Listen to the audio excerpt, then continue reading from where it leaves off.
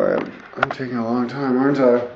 So yes, we're driving down the jungle, and uh, I'm sitting on top of the truck. But since we're driving through the jungle, there's all these trees that would overgrow over the the road. And at, at this point, the road was in a lot better shape. It was a lot drier and I guess better um, maintained. So the truck was going faster. There weren't those really huge divots in the earth like anymore. It was it was just kind of like driving down a bumpy dirt road, and then at one point just a normal dirt road. But um, so they're driving down the road and maybe, but they're still not going so fast, maybe 20 miles an hour. And I was sitting on the top, but because it's in the jungle, there's all this gro- this like foliage growing over the top.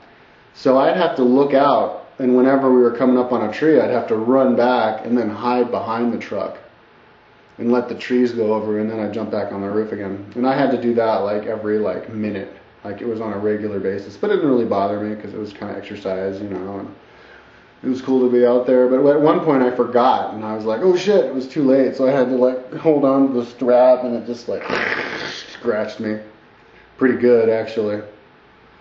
But uh, yeah, at one point I was looking forward, and I saw this jaguar walk right in front of the truck, just really mellow, not trying to run away from the truck or anything. I guess it knew, it had seen those trucks a lot.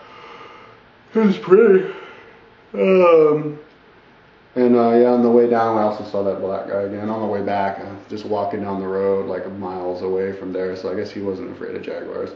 Although they did have a lot of jaguar sightings. I read in the newspaper when I was at that truck stock place that uh, some person, it was like in Georgetown or something, some person came home and they saw a jaguar in their front lawn, in their front porch sitting there. So he ran in, got his gun, and shot it. because um, I guess sometimes I guess one of them attacked somebody and killed him or something like that. But uh, yeah, so then we drive and then we get to where it was paved road and we drove down and I bought this kid dinner again and then we went into oh but and he he had me stay at his brother's house. Who I guess it was his, his his and his brother's house or something, but his brother and his wife and I think they had like a baby or something. And I stayed there for like two nights, I think and they gave me my own room, my own bed. It was pretty cool, but it was like totally dilapidated house, like just a couple of rooms and all the you know the boards, the floorboards were just like rotting and coming out and um and his but it was weird because his brother was kind of acting like wasn't happy to see him at all, and they weren't talking at all. The only person who said anything the whole time was the kid I was with, and he'd be like, "Oh yeah, great to see my brother, great to see my brother," and that's all he'd say. And but uh, the brother told me when I went out go, go around town to check it out, he'd be like, "Yeah, well," and I think I even hung out at the house by myself, but he's like, "Yeah, don't let anybody in the house." so that was weird. But uh, yeah, Georgetown is definitely probably, it's definitely, Georgetown was the seediest, poorest, most dangerous looking capital city I've ever been to. um, there were a lot, Georgetown was part of the English Empire and they had all these, in the center part they have all these, uh, I guess, a couple of English churches. English buildings, actually English style houses, but they were built a long time ago, and all the houses in Georgetown were just dilapidated, haven't been painted for 50 years. The wood was rotted and and just warped.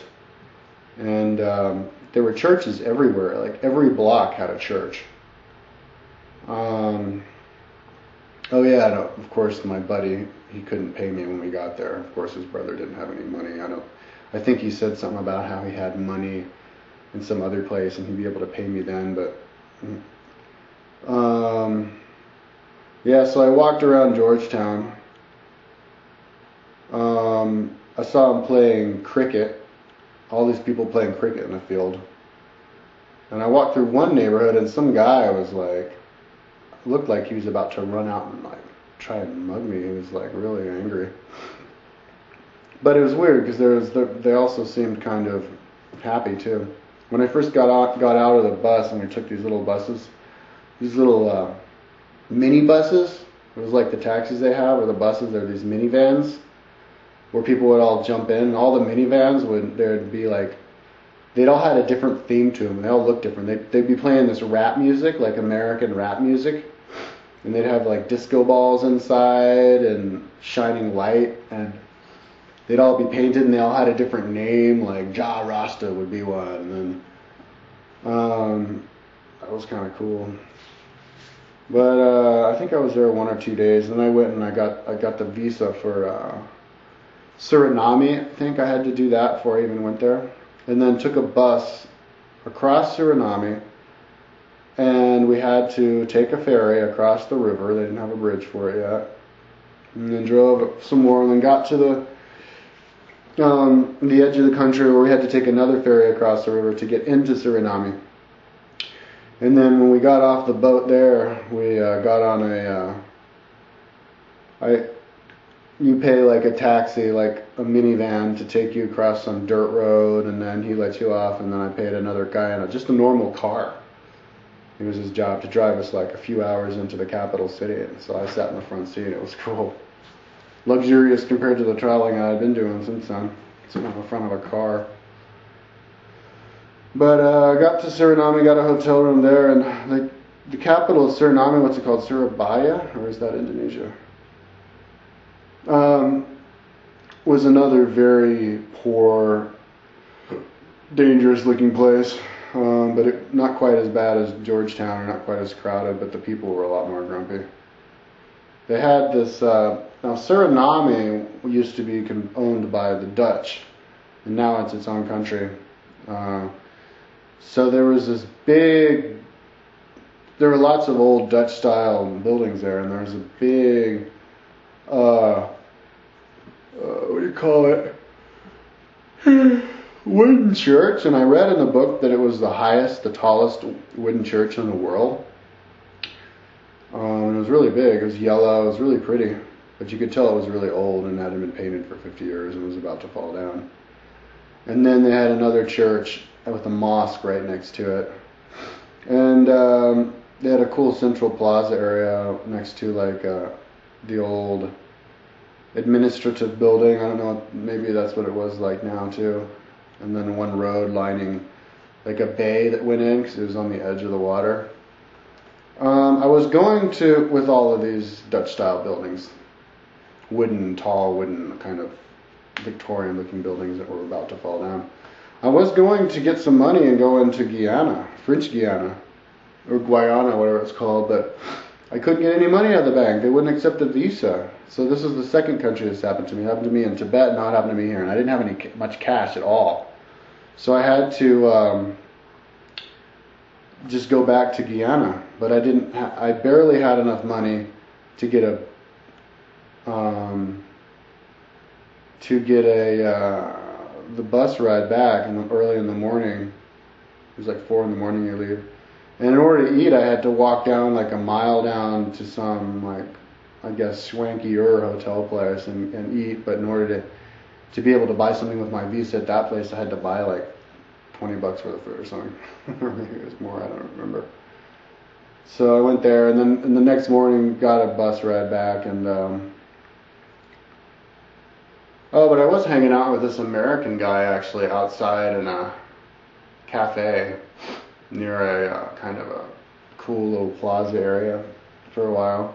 He was living in Guyana his best friend lived there, and he went to go look at some flowers, and the the waitress ran out and was totally freaking out, like, "Oh no, he's not going to pay. He just walked off." And I was like what are you talking about? He's American. He's a tourist. Tourists don't do that kind of thing. He's like, no, it happened to me just last week. Some tourists walked off and they didn't pay, and I had to pay.